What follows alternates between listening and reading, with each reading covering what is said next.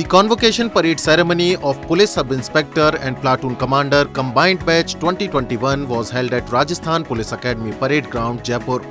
Chief Minister Ashok Gehlot took the salute of the convocation parade of a joint batch of 455 trainee police sub-inspector and platoon commander and inspected the parade.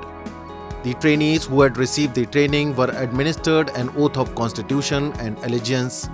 Along with this, the Chief Minister honored police officers and employees with police medals for their excellent work. Prizes were also given to the best performing trainees during the training. During this, the Chief Minister said that the intensive training received from the Academy would make the trainees excellent police officers. Training in law, crime research, cybercrime, and VIP security will help them in discharge of their duties. The Chief Minister added that the law and order situation in Rajasthan is better than the other states. The law and order in the state is under control due to the excellent work of the police. The state government is taking continuous steps for the betterment of policemen. So far, 11,291 policemen have been recruited, while 10,080 policemen have been given the benefit of promotion.